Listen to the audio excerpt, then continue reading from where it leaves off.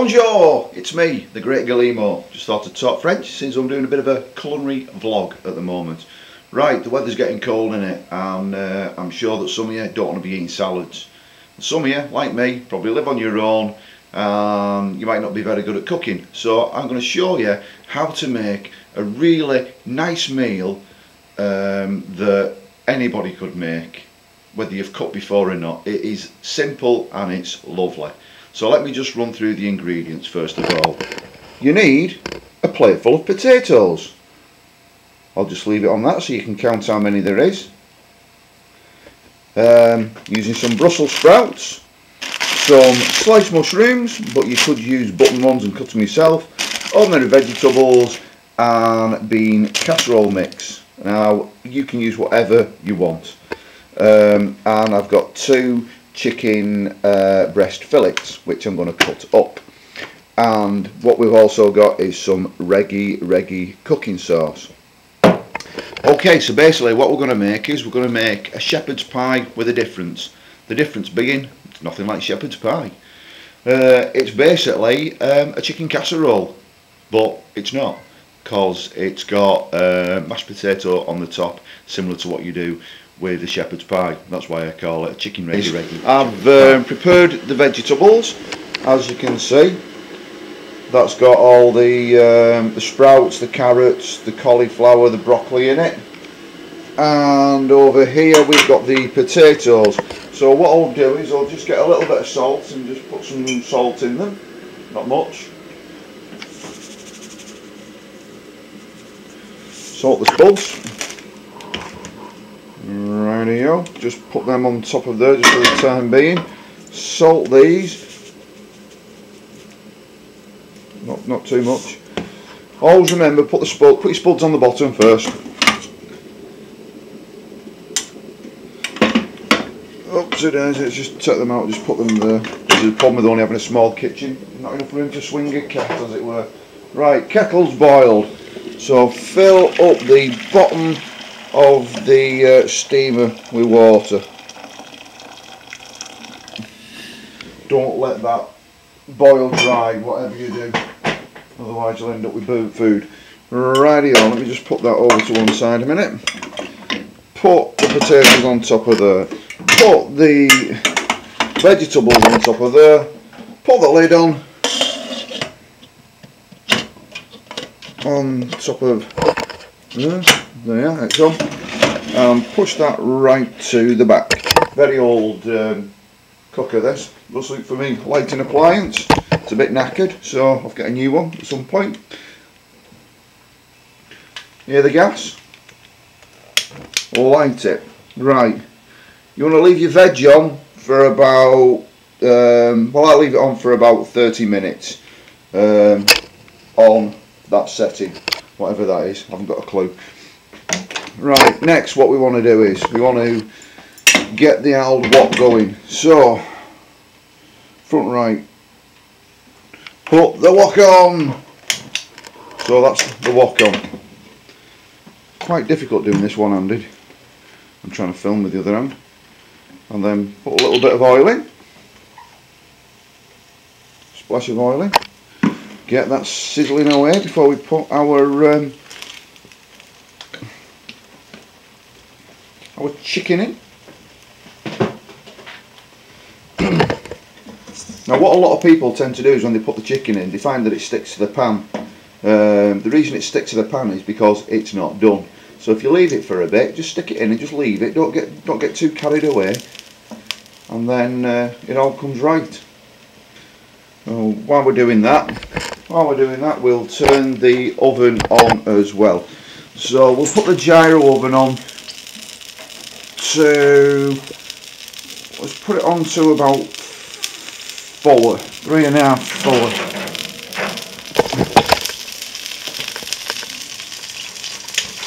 Right, so that's on.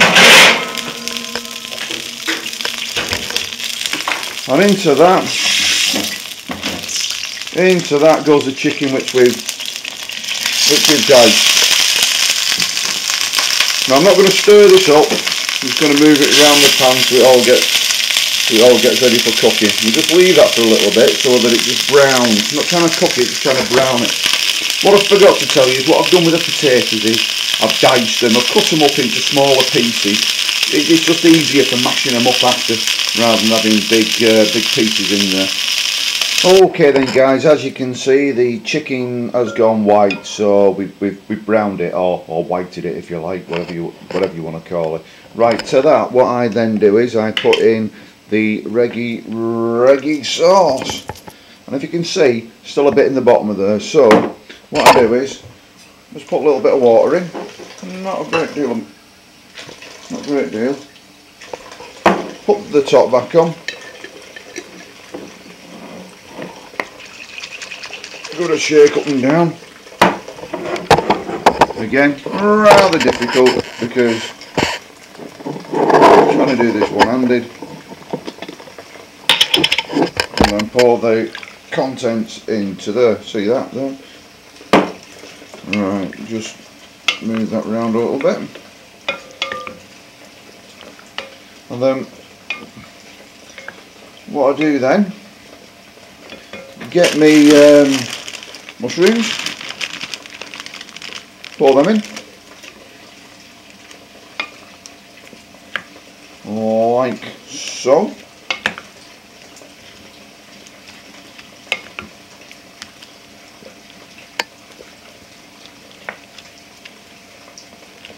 And then I'm not going to put all of this in, I'm going to put some of it in. Put that on there like that. Some of this mixture in here.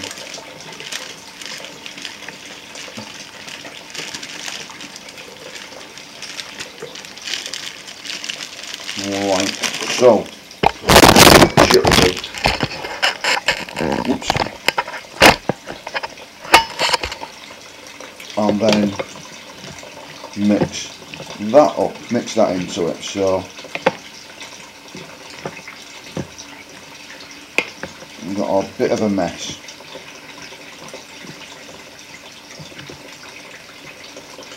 Right, and once that's done,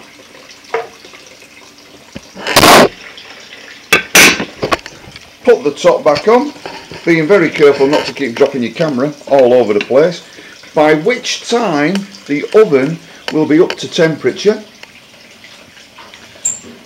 So then we got to put it in. So um, how do we do this? Um, just a minute guys you just put this down.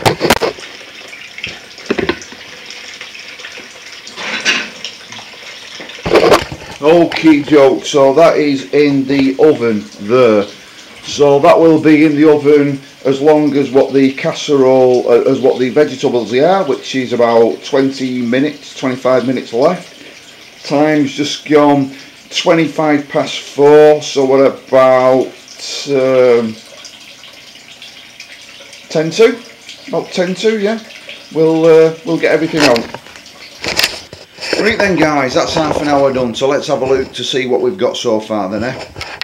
Right as you can see that's the chicken and the um, the bean casserole mix and there's our vegetables. So all we do now is uh, the right thing first of all.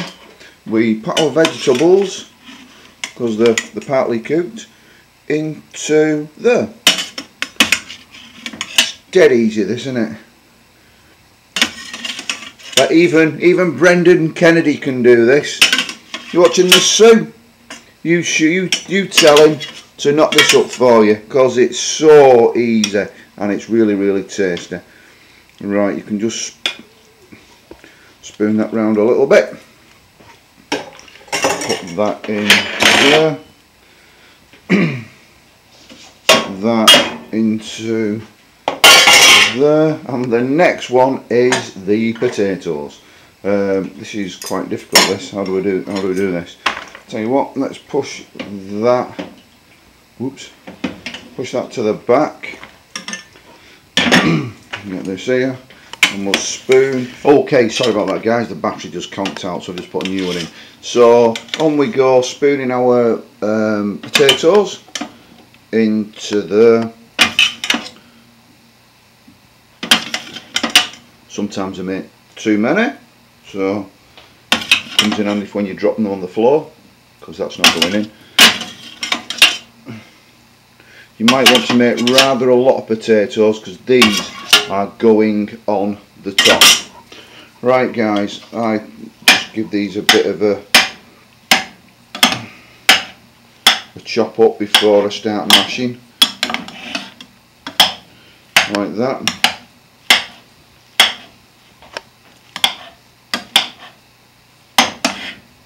And then here we are Mr. One-Handed again always try and get everything out the drawer beforehand then you're not faffing about.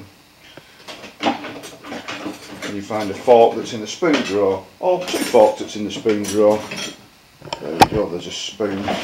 Right I like butter. This is difficult. This. whoever invented two pairs of hands I need I need um, I need another pair of hands what's this one the butter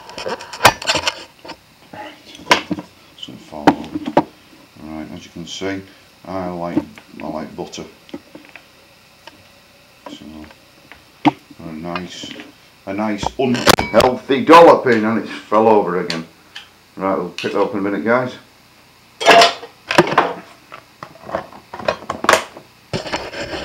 Oops, sorry about that. Right, in in the butter goes. Right, what I'm going to do is I'm going to mash this up. So I'll come back to me when I've just mashed it up and that's that's a masher. That's what I'm going to use. So right then guys as you can see it's all nicely mashed up and the uh, butter's been added. So th then it's just a case of spoon it on and make a nice topping.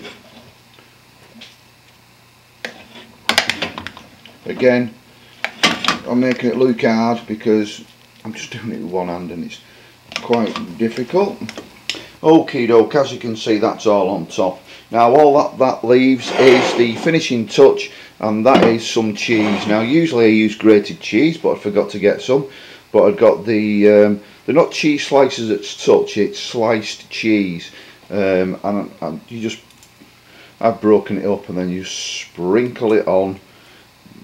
I suppose you could actually mix it in with your mash if you wanted. Um, I like uh, farmhouse cheddar. It's very, very nice. So that's on. Put as much or as little as you want on it. And again, just using one hand is a bit of a, a disadvantage.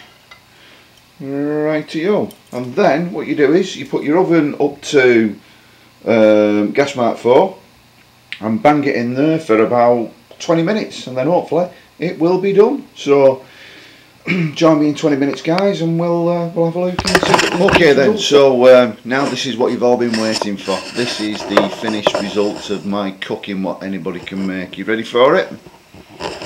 Here we go. So this is chicken Reggae Reggae shepherd's pie. Right, there it is. Um, as you can see, there's a ruck left as well. So that'll do me for um, tomorrow. probably the day after as well. So, you're watching this? This is dedicated to you, Brendan Kennedy. Let's see if you can make something like this. Okay, pal? Okay, guys? Thanks a lot. Bye now.